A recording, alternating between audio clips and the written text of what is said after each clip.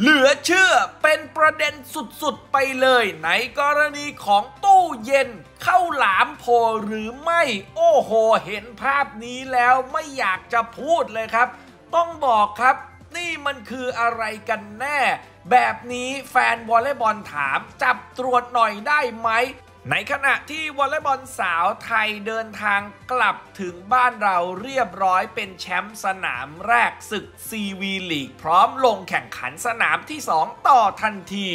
พร้อมกันนี้ยังตั้งคำถามหลังจากวอลเลย์บอลหญิงไทยชนะเวียดนามแบบหืดจับนี่มันเกิดอะไรขึ้นทั้งหมดนี้ติดตามได้ในแตงโมลงปิยะพงษ์ยิงครับ ก็คงจะต้องบอกกันนะครับว่าหลังจากการแข่งขันวอลเลย์บอลไปเนี่ยนะครับใน SEA V.League เนี่ยจริง ๆ แล้วมันก็ไม่ใช่เกมที่ยากอะไรนะครับก่อนหน้านี้เนี่ยนะครับถ้าย้อนไปสักปี 2 ปีเนี่ยการที่ไทยเจอกับเวียดนาม ต้องเรียกได้ว่ามันขาดครับชนะแบบไม่ต้องไปสืบอะไรทั้งนั้นนะครับ ไม่ว่าจะ CV ลีกหรือว่าโปรแกรมไหน ๆ เนี่ยนะครับวอลเลย์บอลสาวไทยหากว่าเจอกับเวียดนามเป็นชนิดที่ว่า ตั้งตารอเฮฉลองกันได้เลยนะครับ แล้วเขาก็จะไม่ได้มีปากมีเสียงอะไรขนาดนั้นเนี่ยนะครับ แต่พอมาถึงทุกวันนี้เนี่ยต้องบอกเลยครับว่า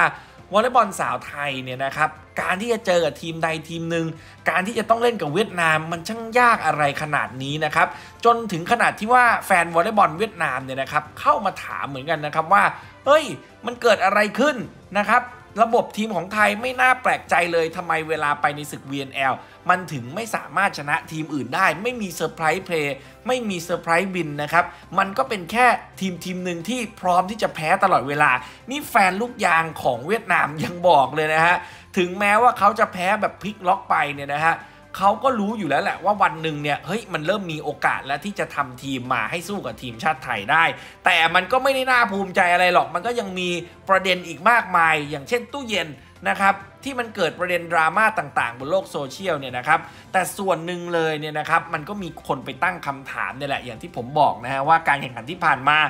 เราเนี่ยชนะไปเซตแรกนะครับ แต่สุดท้าย โดนต้อนโดนต้อนจนเกมเนี่ยมันมาระทึกนะครับ สุดท้ายเราชนะไป 3 ต่อ 2 เซต 25 18 27 29 23 25 25 21 และ 15 13 เอาจริง เราต้องการเกมแบบนี้ไหม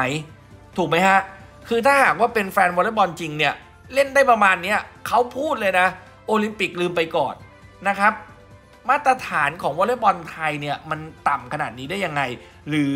มาตรฐานของเวียดนามเขาพัฒนาขึ้น ซึ่งเขาก็ยังบอกอีกนะครับว่าเขามีแต่พัฒนากันทั้งโลก แต่เราเกิดอะไรกันนะฮะ ถ้าในชุดนี้คืออยู่ในมาตรฐานนะฮะ พอเล่นแบบนี้มานานแล้ว โอ้โห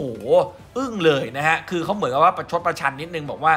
ชุดนี้มันได้ประมาณนี้ แต่ว่าถ้าถ้าสำหรับผมเนี่ยนะผมว่าชุดนี้ยังไงก็ไปได้มากกว่านี้ แต่ว่ามันต้องมีเหตุผลบางอย่างที่คงจะต้องไปแก้ซึ่งแฟนบอลก็รู้อยู่แล้วนะฮะแฟนวอลเลย์บอลก็รู้อยู่แล้ว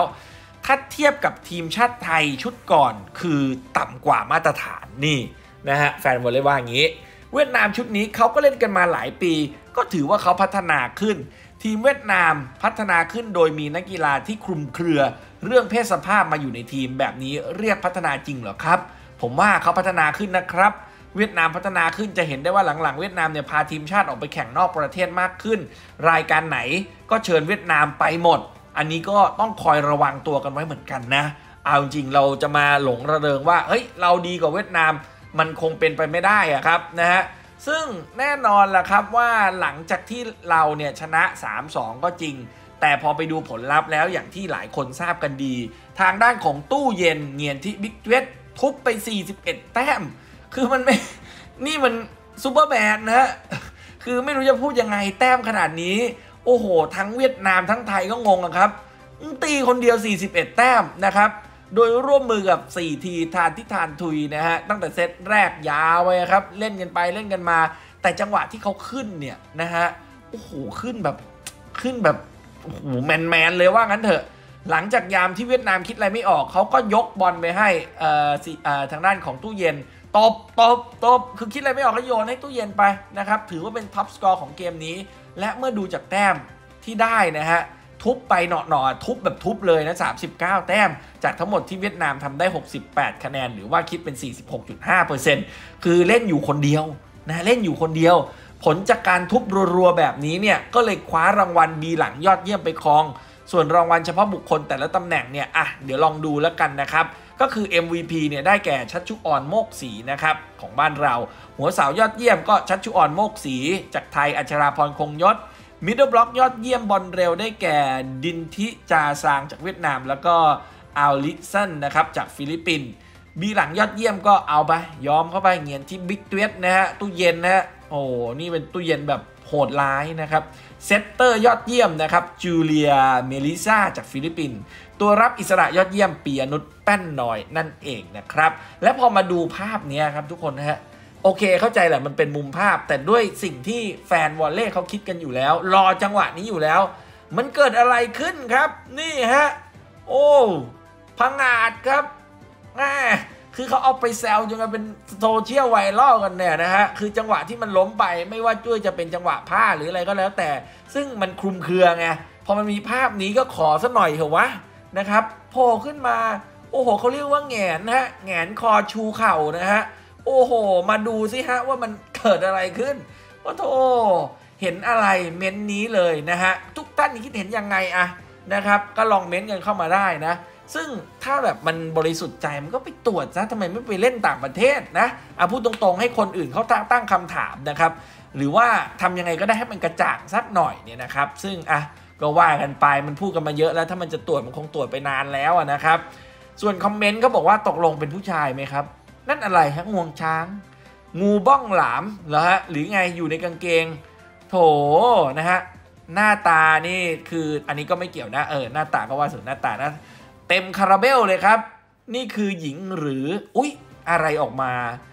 ตุงมากจริงนะครับ ขอสามคำครับ ขอสามคำครับ เออ ไม่อายเหรอครับ ที่ออกมาเป็นแบบนี้ แต่ว่าก็ต้องยอมรับนะว่า มันมันแข็งแกร่งเกิน เกินสิ่งที่เราเคยเจอเคยเจอมานะครับทางแท่งครับตอนนี้ฮะข่าวดังเลยครับข้าวหลามท่อนใหญ่ยังไงก็ผู้ชายแล้วบ้าไปแล้ว นี่เป็นภาพยนตร์ยอดเยี่ยมแห่งปีหรือเปล่าเนี่ยครับ อ้นี่เป็นภาพจริงนะที่เห็นมาลงเนี่ยนะครับ ส่วนเรื่องของออสาวไทยเนี่ยก็ล่าสุดก็ได้เดินทางกลับถึงบ้านเราเรียบร้อยแล้วนะครับ ก็ภาพบรรยากาศเนี่ยก็ต้องบอกว่าเดินทางมาถึงทุกคนก็ดูเหนื่อยดูเพลียแล้วก็ไม่ได้สดชื่นอะไรขนาดนั้นเนี่ยนะครับ แต่เอาละครับ เดี๋ยวก็มาเล่นกันต่อในบ้านเรานะครับในสนามที่ 2 ผมคิดว่า ฟอร์มและอะไรต่างๆเนี่ยมันน่าจะทำให้สาวไทยของเราเนี่ยสามารถที่จะโชว์ผลงานได้ดีมากขึ้น ไอ้เกมที่จะต้องเจอกับอินโดฟิลิปปินอะไรเนี่ยผมว่าไม่น่าที่จะเป็นประเด็นอยู่แล้วนะครับ เพราะว่าเกมแรกครับ ไทยจะเจอกับทางด้านของฟิลิปปินส์ก่อนนะครับ วันที่ 9 สิงหานะครับ แล้วก็ไทยเจอกับอินโด แล้วก็ปิดท้ายนะครับ ไทยเจอกับเวียดนามนะครับ ตามนี้ 9 10 11 เวลา 6 โมง เหมือนเคยเลยครับ ก็เดี๋ยวมาตามดูกันนะครับว่าเราจะทำผลงานได้ดีมากขึ้นไหมนะฮะไอ้เกมแรกผมว่าสบายส่วนเกมสุดท้ายนั่นแหละครับ ความ peak มันอยู่ตรงนั้น แล้วก็สาวไทย พักผ่อนให้เต็มที่จัดไปครับ นี่คือทั้งหมดทั้งมวลถ้าหากว่าชื่นชอบ อย่าลืมกดไลค์กดแชร์กด Subscribe กดกระดิ่งแจ้งเตือนจะได้ไม่พลาดทุกคลิปความเคลื่อนไหวสำหรับวันนี้ลาไปก่อนสวัสดีครับ แตงโมขายบ้าน Town Plus เกษตรนวมินทร์3ชั้น 3 ห้องนอน 3 ห้องน้ำ 2 ที่จอดรถ แอร์ และ built-in เฟอร์นิเจอร์ฟรีทั้งหลังแถมฟรีโซลาร์เซลล์ประหยัดไฟ 40-50%ต่อเดือนสนใจติดต่อ at tm score โทร 0959455635 ครับ